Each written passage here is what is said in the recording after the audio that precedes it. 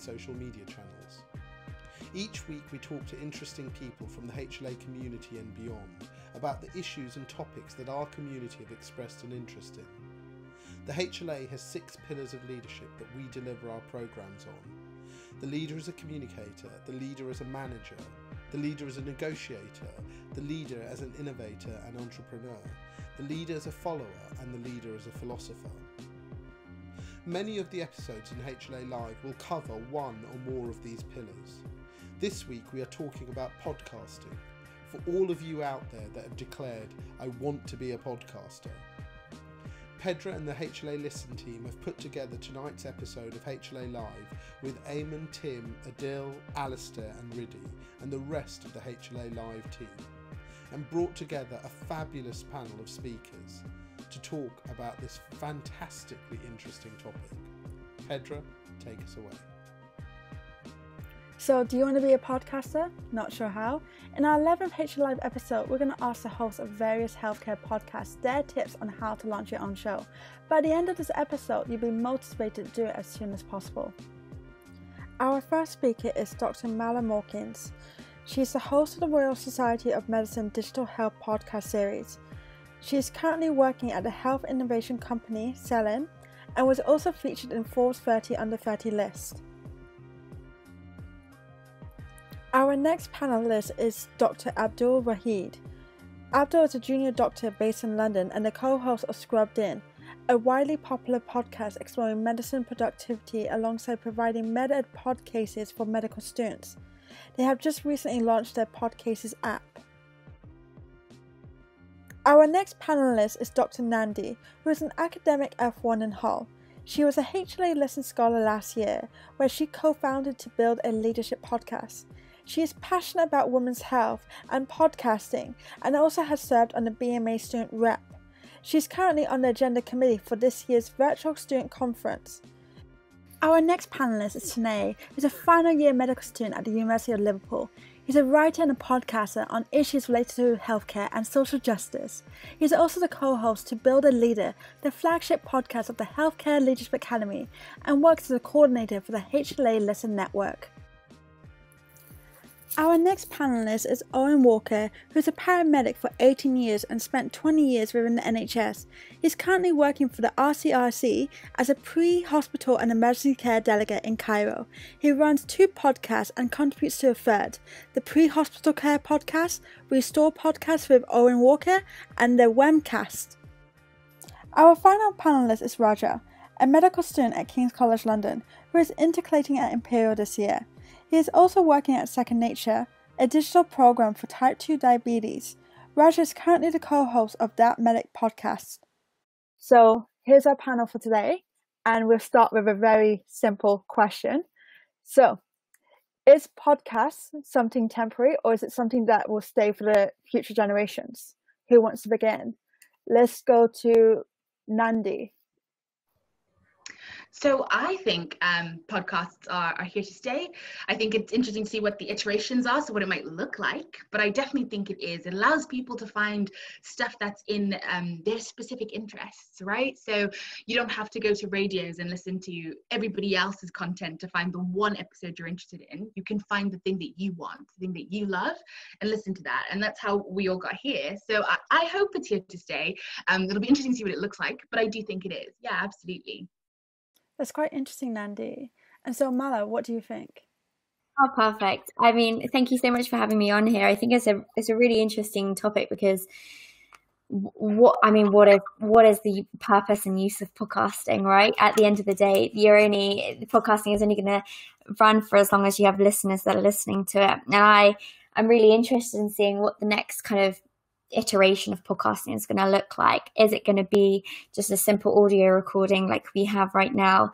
Um, you know, you can stream it on Spotify, Apple, whatever whatever platform you go to, or are things going to change in the future? And that's what I'm really, really excited about, especially working with the Royal Society of Medicine, the digital health podcast. I see that there are really innovative technologies that are out there to spice up the way that we can listen to content and and take in content. So yeah, I'm I'm excited. I kind of I almost hope that the answer to this question is that podcasting um, isn't around for always that there is a new a new way to to access content and that is iterated upon and that podcasting that we know it is is developed and adapted further um, i couldn't agree with nandi and mala i think podcasting allows you to access content that is very niche that isn't per se available on platforms such as youtube and whatnot um, I do think it is here for the foreseeable future. I think the barriers to setting up a podcast is slightly easier than kind of getting your own YouTube channel where you have to learn videography, video editing. Um, like Mala said, I think in the next 10 years or so, there will be a different type of way where people do consume content. For the time being, it is podcast and is increasing and platforms such as Apple, Spotify are accommodating for it. I can imagine in the next decade or so, something amazing will probably enhance on, you know, audio based content consumption. And Raja, what was the turning point for you? I think the turning point was really when I got responses from my friends. And uh, I didn't, when I started this thing, I, I, I came with an initial problem. And that, that problem was that my friend, you know, wanted to code, didn't know how to get involved with coding. A lot of friends want to get involved med tech and didn't know how to get involved with med tech. And then they listen to these episodes and these shows and they come back to me like, Roger, like, oh my God, this is great. Like, I've learned so much from it. Um, I really have enjoyed it. And just bear in mind, Pedro, like I, I've, I've, you know, working five days a week and quite tired.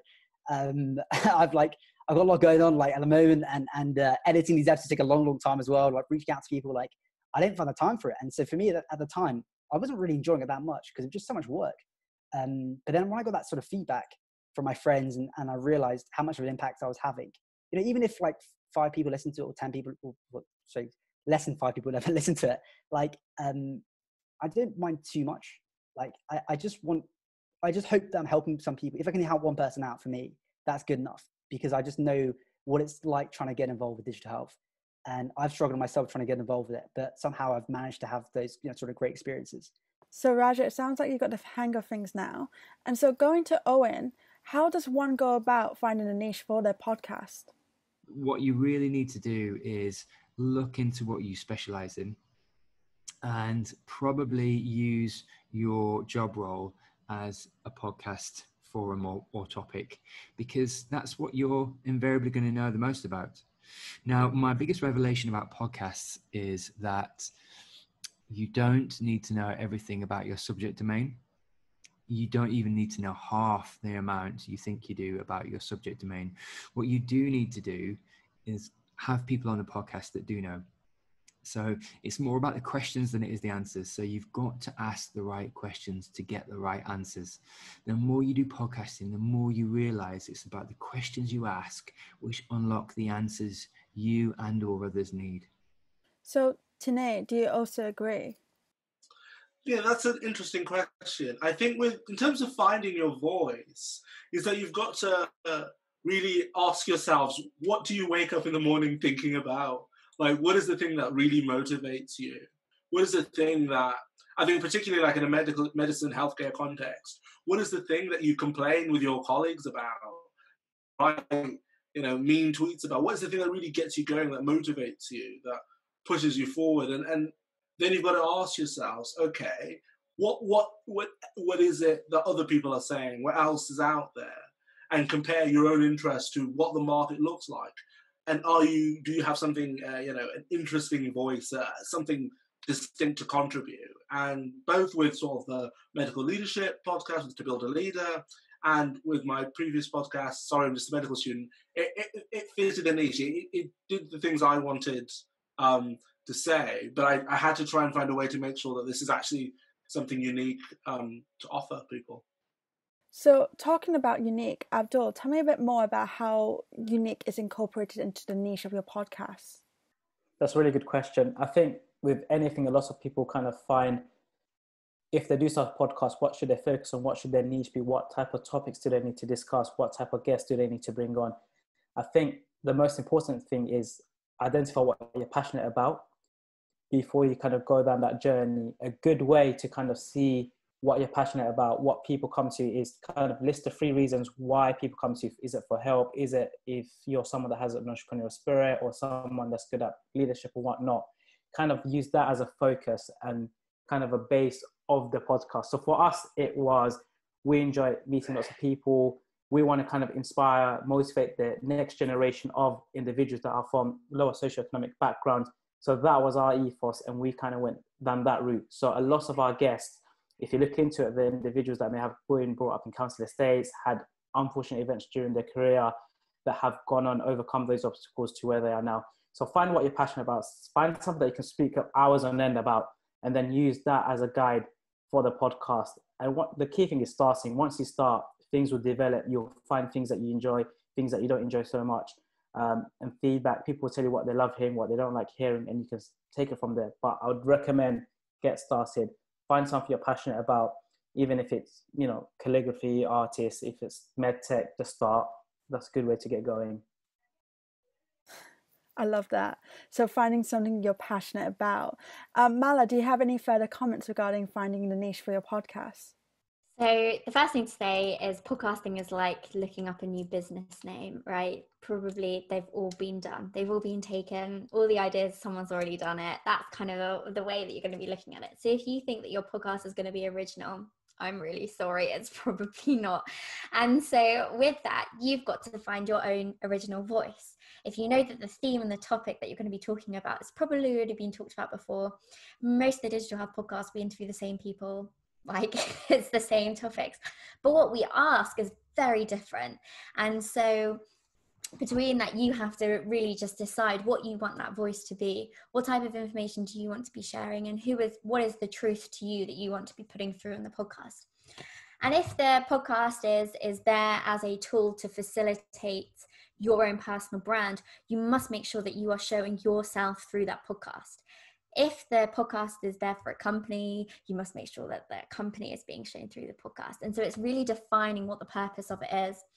How do you get past the six podcast, uh, six podcast, or what should we call it? Like the, uh, I don't know, it's, it's, it's a trap basically. But um, you might not and that's the truth of it is you might do everything by the books you might tick all the right boxes and sometimes it's just not right. It might be the wrong timing it might be you know maybe the listeners just aren't interested at that um in those particular topics. It might be it, it, could be a variety of things, right? Maybe there's a global pandemic, which means that people aren't listening to podcasts right now about your topic. So you've um, got to be open to the fact that sometimes the failure is completely out of your control. And when you do that, take it as a six six episode pilot put it in your own head as a six episode pilot. Say, I'm going to do this for six episodes, and it will be my choice whether or not I continue it or not. And don't let anyone else, um, don't let anyone else dictate that for you. And then um, the best ways to get around it: be prepared, be organized, and um, don't treat it like a side hustle. If you're going to do it seriously and you want to get over the six episode thing, you must not um, phrase it in your mind as a side hustle. You must phrase it as in your head as an everyday like working hard job that you're going to put a lot of time into and they're the most successful ones. So mala your podcast is extremely interesting. And so can you tell me a bit more about how you found your journey into podcasting? Um, what did you have to do? How did you go by planning it? So I work with the Royal Society of Medicine in the Digital Health podcast, um, and I and I host it, I edit it, I disseminate it out. I also um, interview the um, the people that we're going to be talking with beforehand and do the whole background check. So I basically do the whole Shazam that's going on there. However, I have an incredible team around me, and I think it's really important here that you don't underestimate when you're setting up a podcast that you need expertise that you probably don't have, um, especially as a clinician um, or as a healthcare professional. You're not really taught about marketing, sales, advertising, content, all of those things. They're kind of new. So from the start, I worked with a fantastic person in the marketing team at the Royal Society of Medicine. We created a year long plan as to what the podcast would be about, what the aims of it are, um, how we can get the right target audience and shape a conversation towards what they want to hear. And then once we started recording, it was again an iterative process on top of that to make sure that we were always targeting the right people, getting the right messages across, and interviewing people that at the end of the day are interesting to, to hear from because no one will listen otherwise. Coming to Raja now, so tell me a bit more about how you go by planning an episode. Like whatever I was going to do, I was going to make sure that every every question I ask, you know, I always think about when I ask these questions, you know, what do I want to know as a student? you know, I could, it doesn't matter who I talk to. I'm like, you know, what do I want to, but if I'm listening to this as a student, what do I want to get from it? that's why before I even start a podcast, I literally have four questions. And, and I literally go over them like, this is the mission for this podcast. This is what I'm trying to achieve. And this is what I hope students take from it. And have you ever done something like this before? For me, like doing this podcast, like I didn't know at all how to do a podcast. I remember watching like YouTube videos with this guy called Pat Flynn, and he was telling me to do GarageBand and, and use all these things. And I tried it and I, I tried like Skype and trying to use Zoom to, I tried all these different things to record things. And I, I didn't know where I was going. And, and it's, it's taken two, three months, but now I am like where I want to be. And I think I've got much better at it. Um, and that's by just, that's just by me being like, okay, just, just give it a go and see what happens. Right. And I don't think people should feel hold back because loads of people are doing things already.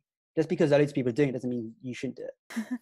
and that's so insightful, Raja. And so going to you guys at HL Listen, your podcast is so energetic. This I just love it in general. So tell me a bit more. How do you plan a podcast whilst incorporating that energy into it?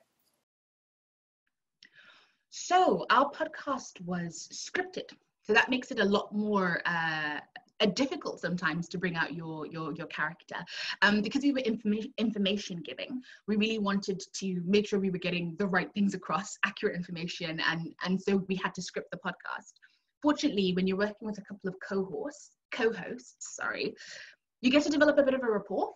Um, so we had our own banter as people who were working together and friends and that came across because then we just took that across onto the podcast. I think it's just about um, spending some time talking to and planning and being around the people you will work with if if that's appropriate and you're not doing lots of interviews um, and allowing whatever dynamic comes out in that group to try and come out in the podcast. Because i think lots of people are here to to be a part of the relationship. So um, if it's friends talking, they're the extra friend who gets to listen in on the conversation. And so that friendship or that personality or that group dynamic really does need to come through because I think that's what keeps people.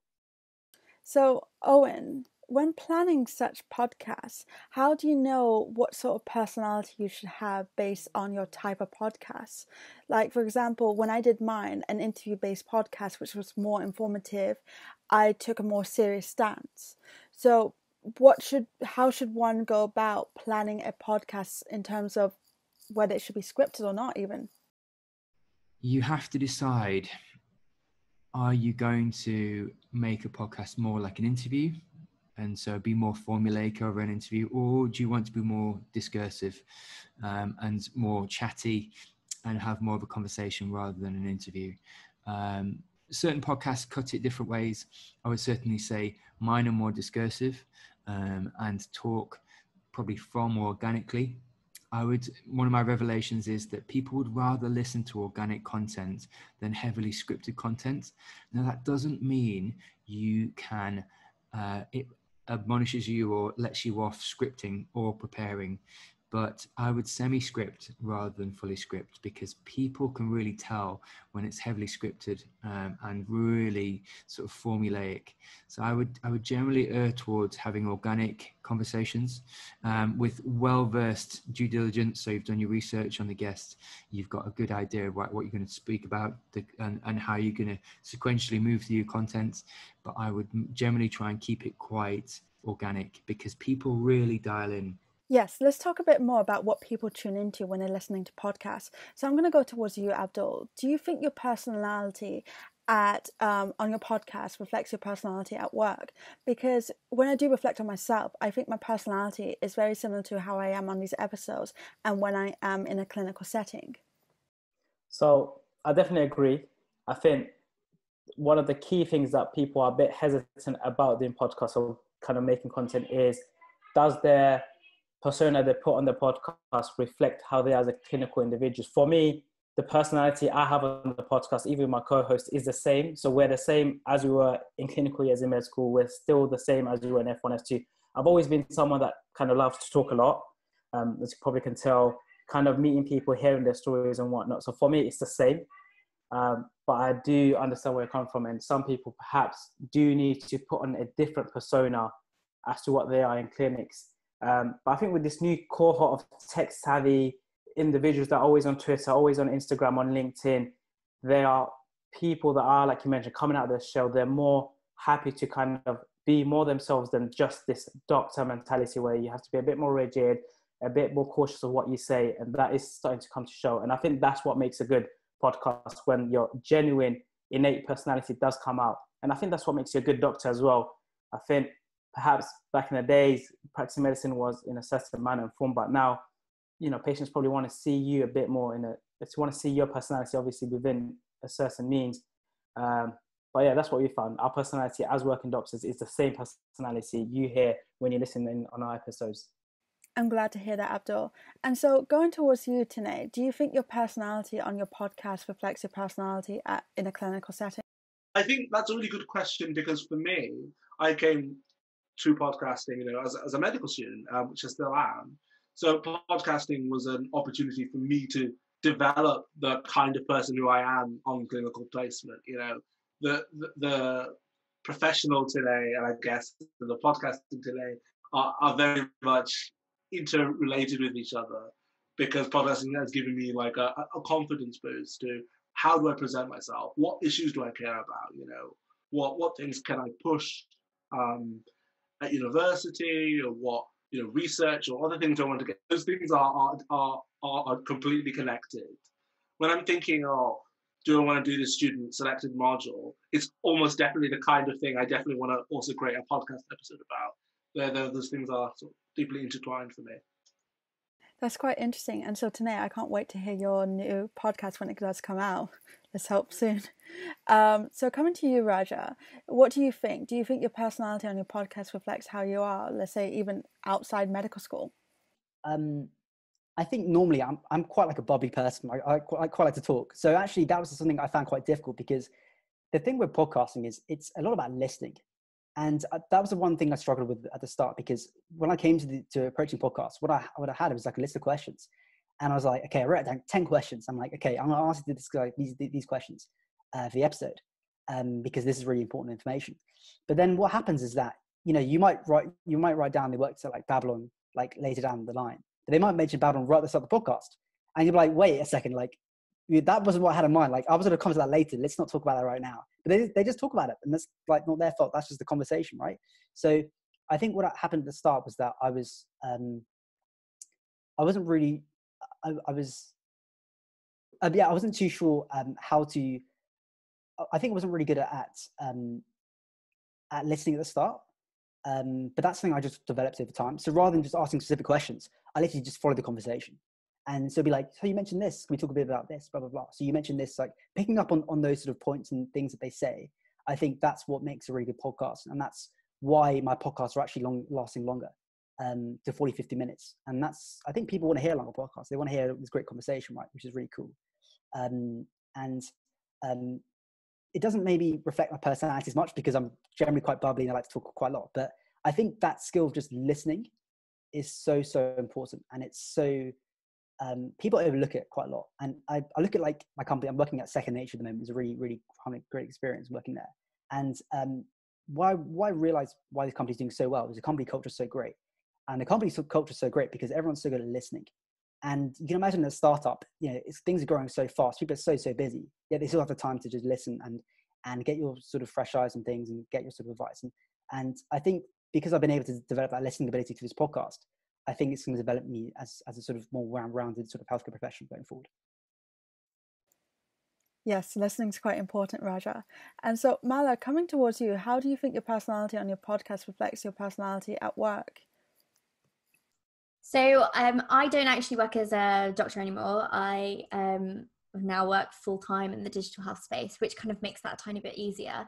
The um, the exciting thing is, is that actually um, I was a lot more rigid and stale at the start of podcasting. So, me normally you can find me having a lot of sugar intake and probably on the dance floor somewhere like that is me. But when i'm on the podcast i'm like this professional that is talking and interviewing you. And it's only kind of episode 10 11 12 if you if you listen to it that i start kind of opening up and sharing my thoughts and my opinions.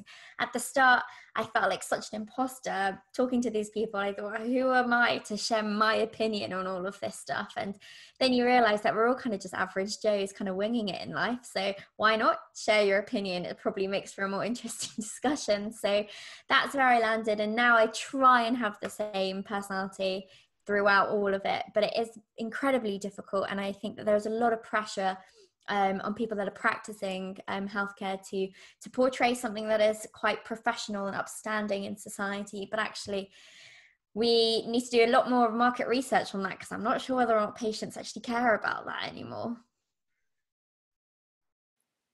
So, Mala, just continuing the conversation about alternative careers, do you have any advice to anyone who's taking this journey themselves? Okay, so this is a really tricky subject. And look, if it was easy to have alternative careers in medicine, everyone would be doing it, right? It's not that simple and it's a very tricky, difficult um, path to maneuver. My advice is um, something that I was actually recommended, which is think about where you want to be in when you're like 45 50 like what type of life do you want to be living? And once you've got that very clear vision in your head like you know where are you waking up in the morning? What are you doing? Um, what type of work are you working on? Are you in a big team? Are you in a big company? Are you traveling the world? Are you giving talks? I knew very quickly that my like as i said before my my passions lie in two things. One is um, solving healthcare inequalities through healthcare technology but also through um, widening the diversity in healthcare technology, right? And to be able to do that, I really enjoy the speaking around it. So I knew I needed to kind of just start almost an internship myself in learning how to disseminate content. So I did a few things. Once I've got that clear vision, you can start looking at what the opportunities are around you. Obviously, you apply for like a hundred things. You probably hear back from about 10 and one of them might fruit. So just like rejection after rejection after rejection. And it's just like having the stamina to keep keep going because it is pretty rubbish out there, right? And so with podcasting specifically, I knew that I needed to get more of a, an, a, personal branding for myself within the speaker community. So I um, did some work in uh, writing and I did a stint at The Guardian, a, an internship there. And then I thought, right, need to learn this. So I pleaded and pleaded and pleaded with the RSM to reignite their um, podcasting. And as I said, it took an, a year to get it all formalized and to get it all written up, but it's all about the persistence there in terms of careers outside of medicine i um i envy anyone that can can be able to manage doing clinical work on the side of side side hustles. Because for me i found that i was doing medicine on the side of, of, of my side hustles almost if you see what i mean. And so i knew that very quickly that because i kind of did med school on the side of my life i was having that as a side it was never my focus. And so it was a distraction to my long-term goal. And when it became a distraction i knew i needed to leave and focus on what my actual goals were which is getting more experience in innovating in healthcare, bringing in new technologies into the system, and expanding on that. I'm making it sound super easy. It is horrible to have to go through this. It that conveyor belt is so tricky to get off. There were so many ugly tears whilst I was deciding whether or not to do it, and there are still some days that I think, "Oh, was it the right decision for me?" The only thing you can do is just um, follow that follow that dream that you have for what you want your life to be, and I promise you, it will always work out. So, Mala, it does look like you have it all together from an outside perspective. And so, moving on to our next topic, which is about editing, equipment, and sponsorship. Nandi, I'm going to start with you. Do you have any advice regarding all this? Yeah. So, uh, editing, if it's an information giving podcast, there's probably going to be a bit more of work and a bit more work in terms of editing um, and a bit more work in terms of preparation um, because you want your stuff to be accurate and, and informative and useful and up to date, um, much like you would a paper so I think there's lots to think about in terms of preparing. In editing, it's making sure that the right things are coming across. Um, information giving as well, you need it to be clear and sound good. I mean, it has to for everything, but you can get away with more mumbling and jokes and banter if it's topical. I think in regards to equipment, it's really variable people can do amazing things with just zoom but i think it's getting a microphone um, um, you can look at them up on sort of Amazon and you can get really good reviews for stuff or reaching out to some people for what microphones they're using. So if you reached out, we could let you know what microphone we used. We used one between the three of us and that worked really well when we were all together. I think in regards to things like sponsorships, we were really fortunate because we were doing as part of HLA that we had Medics Academy and MDU sponsor us. I think it's reaching out, reaching out to people who might have an interest in what you're doing, um, or just to everybody and seeing who can. I think quite often with podcasts, because there's quite a lot of them now, because it's quite popular, um, sponsorships might not happen immediately. Um, but that's okay. You're persevering, and this is why you have to love what you do. Persevere because you love it, and then um, as it grows or as it as it um, continues to sort of take hold and and become like you know the current trend, your podcast, then you will recruit sponsors. People will see what you're doing. People will love what you're doing, and then people will support what you're doing. But I think starting out not with the intention to be sponsored because I think that's quite difficult as there are quite a few podcasts going at the moment. And Abdul, do you have any further advice on this topic? So the first piece of advice I would give is get started. Um, whatever idea you have in terms of content creation, be it on YouTube, be it on Instagram, be it podcasting, get started. Particularly in the world of podcasting, we live in a world where the production value or the production quality is so important. Otherwise, people turn off. So YouTube videos need to be highly aesthetic. When you have a podcast, it needs to be of crisp sound quality. You need to have really cool music and the intro at the outro. But before that, so get started. You don't need to spend tons of money on fancy equipment, fancy mics, fancy recording gear, and um, editing software. That will come after time. Your first episode will be crap. It gets better with every subsequent episode, but it's getting started. And over time, opportunities will arise where you may get sponsorship opportunities. You may have people kind of as a patron service or people, you know, they do kind of buy me a coffee thing online where you can use that money to buy better mics, buy better equipment, buy better editing software and kits.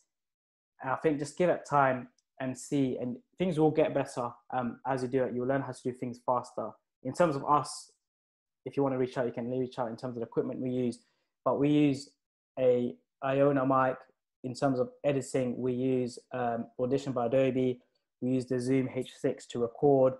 Um, and we use a website called Headliner, which is really good to create those little snippets that we share on Instagram, that we share on Twitter, which is that one minute where you showcase the best parts of your episode to hopefully get them to go and download and listen to the full episodes. Um, I think that's the advice. Get started. Even if you're recording on your phone, um, get it out there. And once you see traction, that's when you can start to reinvest um, in better equipment, better mics, and better kit. Thank you for those tips, Abdul. And so, going to you, uh, um, Owen, what um, microphones or equipment do you um, recommend to people who actually want to invest long term into this?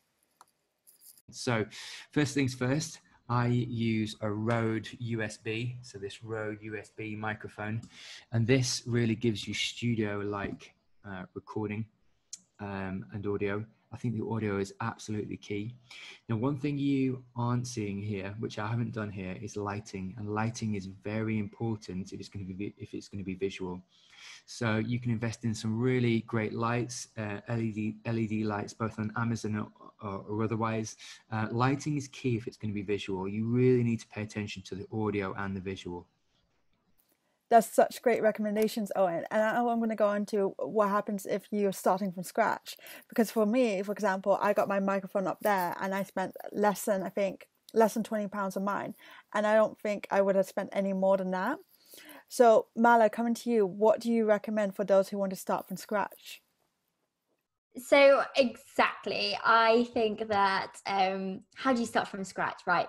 Don't spend more than 50 pounds. If you spend more than 50 pounds on your six episode pilot i will be mad at you because you just don't need to do that. If you are trialing this for six episodes you're trying to get you know an understanding of the podcasting scene see if it's something you want to do and you're putting a lot of time into it you all you need is bare minimum. So i use anchor a free platform. I think it's owned by spotify and it directly disseminates your podcast to apple spotify google all the big ones.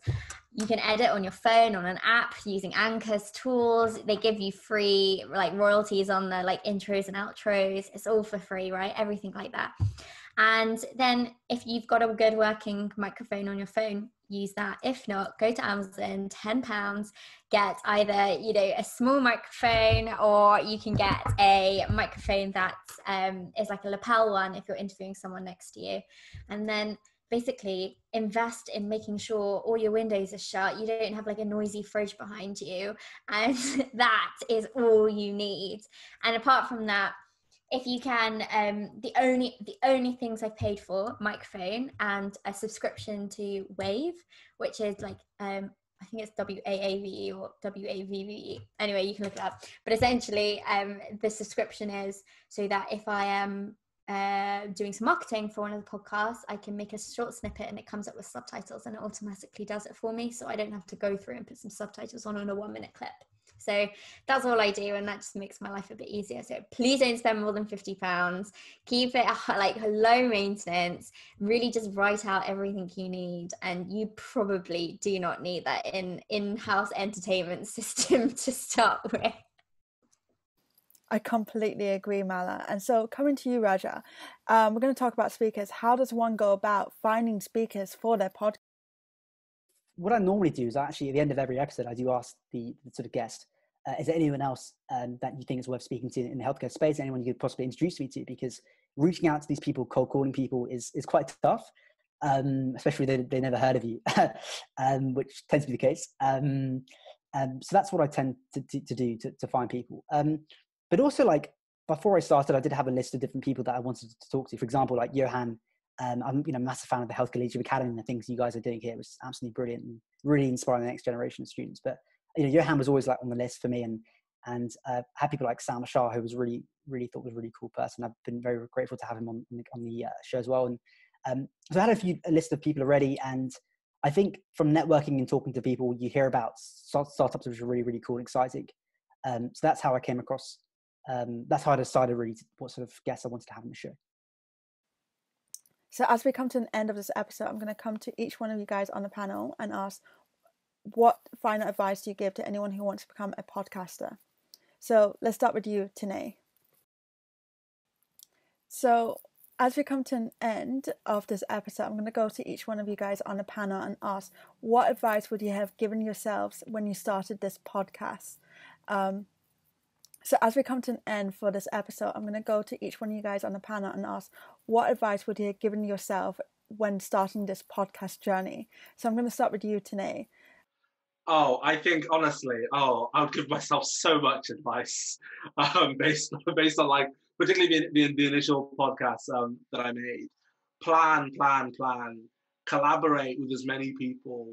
You know, outsource any creative things to people who, who you know and trust and value, who are good at who are good at branding, graphic design, and social media, all of those things. Talk to people who you know who can support you. I'm not involved with your, with your podcast or whatever. Um, find people who are good at making all of those extra things you need to make a podcast. Um, because taking on the work just yourself or just you you and your small team can can be too much. And it ends up affecting like the time you should be spending on actually creating the. Um, and I think in terms of like microphones and stuff, you can definitely get reasonable quality things on Amazon for your first podcast. Cheerful, reliable, with like strong reviews. Don't go overboard buying anything too expensive. A laptop, a room, small room, off furnishings, a microphone, and some reasonable pair of headphones will set you right on making a good initial series of any podcast. Um, other that you always, um, when you're making any podcast, as I once had an amazing interview with a, um, a TV doctor, someone I really, really cared about. It was really great could not hear all of it after the end of recording. You could just hear his and my breaths after everything we said, and it was just impossible to edit out. And even now, thinking about it, I, just so so regret not doing an audio check at the start. Spending a lot of time planning, collaborating with other people. Start off small in terms of your content, and then um, in terms of your equipment quality, and then you can think about investing in, in fancier tech. Yes, I do agree regarding equipment. I think a lot of people expressed that today. And so, going to you, Raja, what advice would you give to anyone who wants to become a podcaster? I think as I think I've talked about quite a lot, but again, just having a mission, I think I said is really, really important. Just understanding why you want to do podcasts because you know it's very, very tough for medical students at the moment because they see a lot of their it's a very competitive environment. They see a lot of their friends, you know, going sky high. They got friends doing YouTube channels. They have you know, a lot of medical students have these bios like living the life of a medical student and and they got pictures of themselves thinking, you know, having cups of coffee and doing these sort of things. Um, and there's there's I feel like there's a sort of need to to to to get involved in social media and, and do these things. But there isn't really. There is no need to do that. I think I think before you set up a podcast, um, do it because you want to and because you want to tackle a situation, tackle a problem. It could be like you want to set up a global health podcast, or it could be like a, a like a women in leadership podcast. It could be um, it, it, could be any sort of area that you are passionate about, and as long as you're, I think, forget about what anybody else is doing. Like even when I started, there's a, there's a guy called um, uh, Mustafa uh, who, does the Big Picture Big Picture Medicine podcast, and his podcast is absolutely brilliant. Like it's literally phenomenal. Um, and I remember listening to this podcast. And about, I was about to start mine. I'm like, this guy's already doing it. Like, why should I even start? Well, there's no point in me starting my one. Like, this is literally insane. Like, there's no point in me even trying. Um, but I actually, I spoke to my brother about it. He was like, do you know what? Like, if you're passionate about it, you like digital health, just give it a go and see what happens. And I don't regret it. I really don't regret it. So I think, I think just having a mission and understanding why you're doing it is really, really important. Um, the second thing I'd say is, is don't be afraid to reach out to people. Like, you, you don't like I remember that I talked about it a bit earlier, but I remember being at lecture theatre and and being a bit for, too afraid to, to talk to the lecturer and, and after this great speech and being a bit nervous and stuff. Um, but these people, the, the reason they come to this this lecture theatre in the first place is because they want to be there. They want to help you out. They want to they want to help our students. They're they're there for you, right? So so you know really do network. Really do take advantage of any opportunity you have. You know, message them. You know, send them emails. You know, I, I've sent emails to three, four emails to one person one time, and and and you feel like they don't reply to you because you're just a student but a lot of them are just so busy they just they're just busy people they didn't because they don't want to talk to you they're just busy they got stuff to do you know it's nothing against you as, as a person right? Don't take it personally. Um, they're just busy people. Um, so I, would say um, just network as, as, possible and yeah so to have a mission um, network. And and the last thing i'd say is is just um, listen to loads of podcasts. Before you even start it listen to it.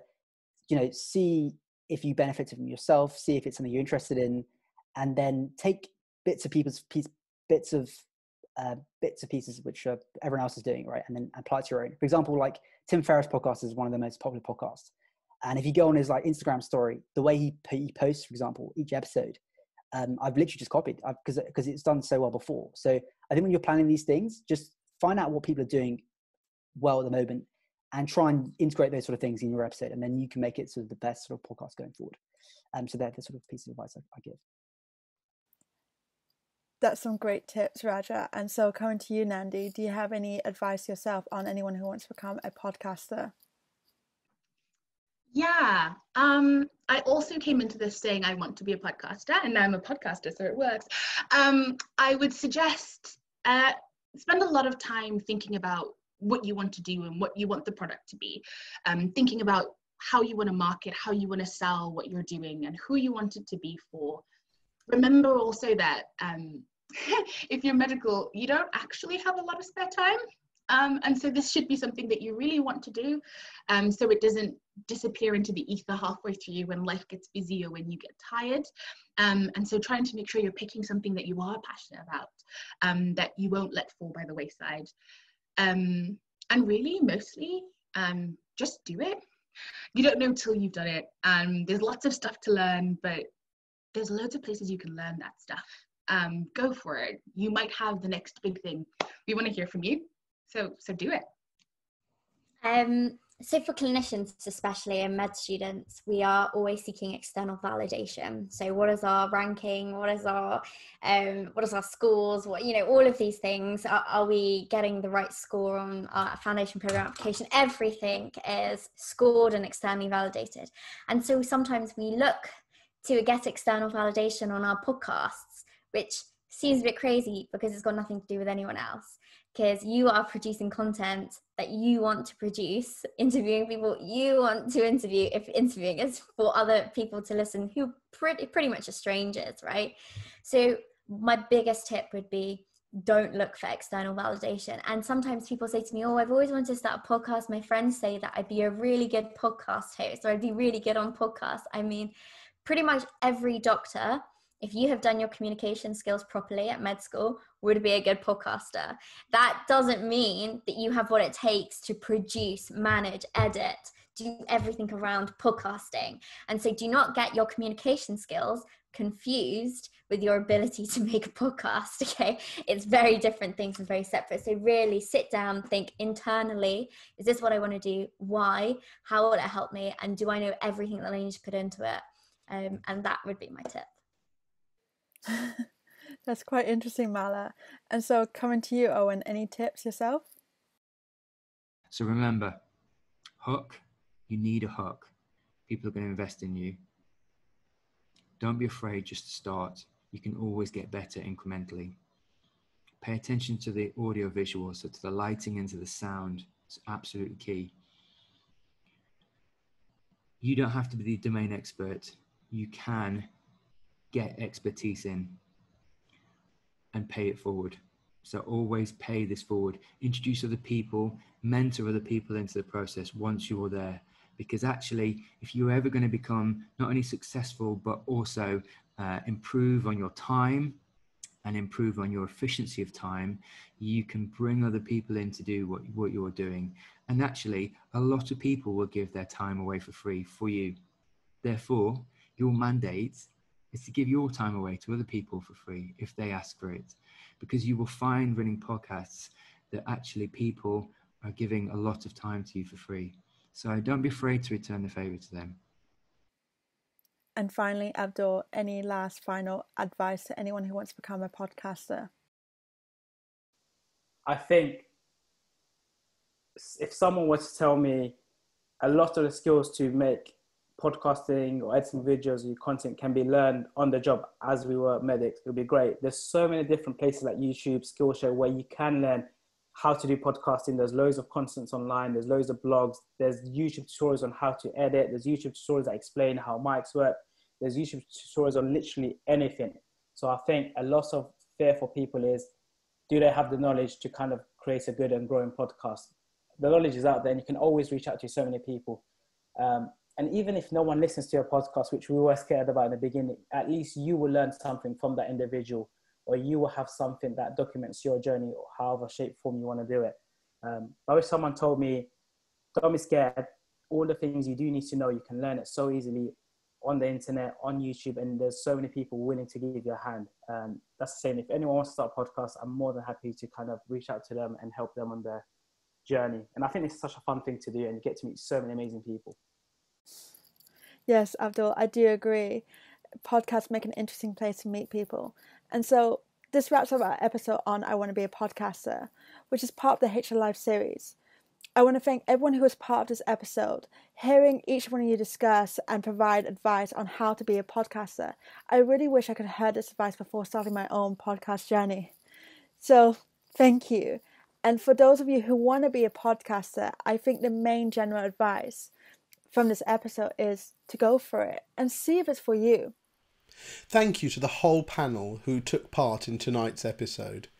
Tonight has been absolutely fascinating. So many students and clinicians have talked to us about podcasting. We've learnt so much about this incredibly popular media format, and tonight a lot of my questions were answered. HLA Live is thanks to the wider team, as well as Eamon Riddy, Alistair, Adil, Tim, and of course Pedra, for their incredible work delivering the HLA Live programme. We are incredibly lucky to have scholars that want to make a significant impact on healthcare across the globe and use the HLA as a platform to bring their incredible ideas and innovations to fruition.